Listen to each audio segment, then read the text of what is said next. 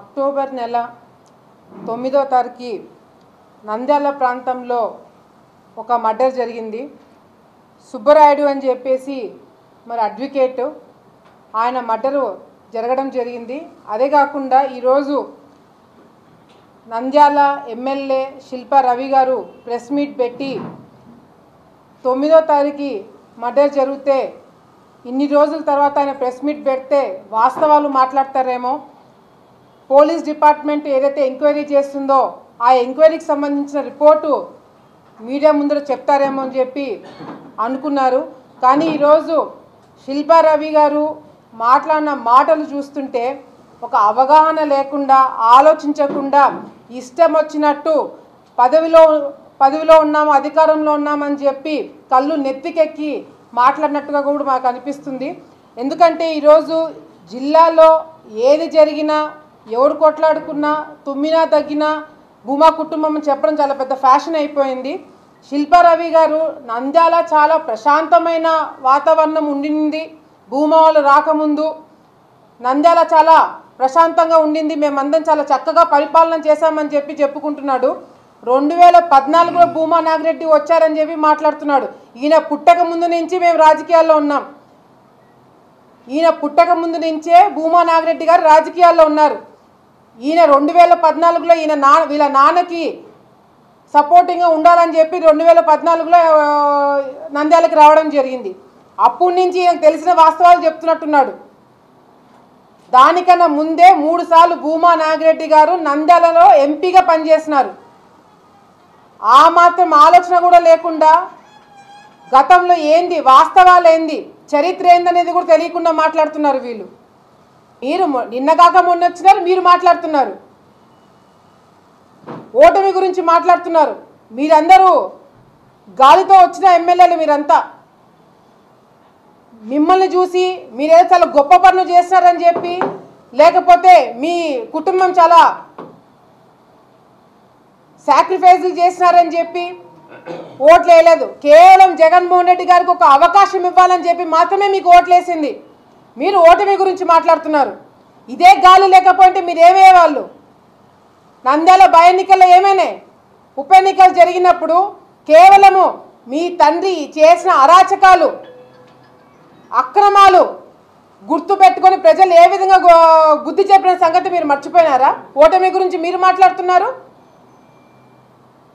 ఏం చేసింది భూమా కుటుంబం? మీరేం చేసినారు? నంద్యాల్లో మీరేం చేస్తున్నారు చేసినారు? చామకాలో మీ నాన్న కట్టించినాడా? రోడ్ వైడింగ్ మీ నాన్న చేపించినాడా? పదివేల మందికి మీ నాన్న కట్టించినాడా ఇల్లు? మీరున్నప్పుడు నంద్యాల పందులు విపరీతంగా తిరుగుతున్నాయి నంద్యాల టౌన్లో. ఎక్కడ పడితే అక్కడ కంప చెట్లు. భూమా నాగిరెడ్డి గారు వచ్చిన తర్వాత మాత్రమే నంద్యాల అభివృద్ధి చెందింది. ఈరోజు రోడ్ వైడింగ్లు రోడ్లు మీరు తిరుగు నంద్యాలలో మీరు తిరుగుతున్న రోడ్లు కూడా భూమా కుటుంబం వేపించిన సంగతి మీరు మర్చిపోకండి.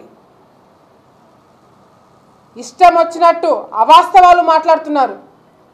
నిజంగంటే భూమా కుటుంబం అరాచకాలు చేసి అక్రమాలు చేసి కక్ష సాధించడానికి ఆలోచించింటే ఈరోజు మీ అందరు ఎక్కడుండేవాళ్ళు? నిజంగంటే శోభా నాగిరెడ్డి గారు చనిపోయిన తర్వాత భూమా నాగిరెడ్డి గారు మీరు మీరు చేసే అక్రమాలు మీరు మాట్లాడే మాటలు మీరు కేసులు పెట్టినప్పుడు మేమందరం భయపడ్డాం మీకు ఏమైపోతుందో అని. కంట్రోల్ చేయడానికి శోభా నాగరెడ్డి గారు కూడా లేదు ఏమైపోతుందో ఏం చేస్తాడో అనుకున్నాం. మీ అదృష్టం.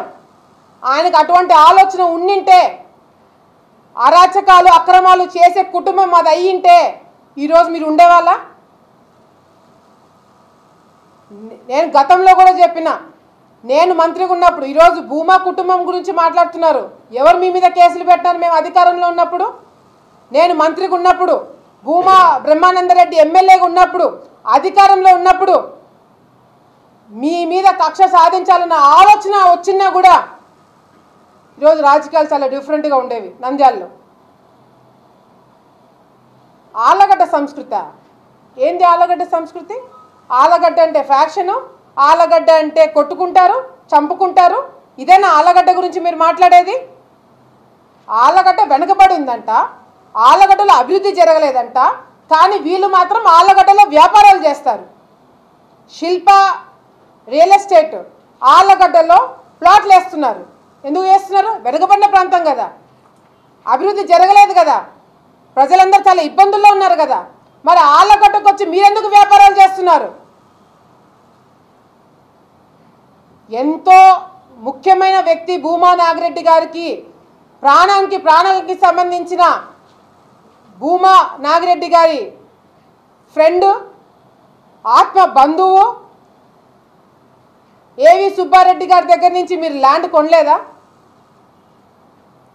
మరి ఆ వాళ్ళ దగ్గర వాళ్ళతో ఎందుకు మీరు వ్యాపారాలు చేస్తున్నారు? భూమా నాగిరెడ్డికి సంబంధించిన మనుషులతో మీరు వ్యాపారాలు ఎందుకు చేస్తున్నారు? ఎక్కడ పోయింది ఆ భూమా అఖిలప్రియ ఎక్కడున్నారు భూమా బ్రహ్మానందరెడ్డి లోకేష్ ఎక్కడున్నాడు?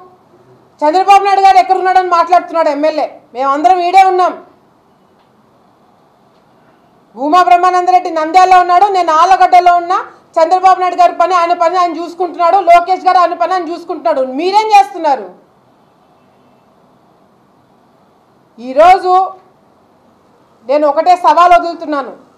నిజంగంటే మీకు దమ్ము ధైర్యం ఉంటే వారం రోజులు టైం ఇస్తున్నా. జరిగిన మర్డర్కి మాకు మా కుటుంబంలో ఏ ఒక్కరికైనా సంబంధం ఉందని మీరు నిరూపించండి.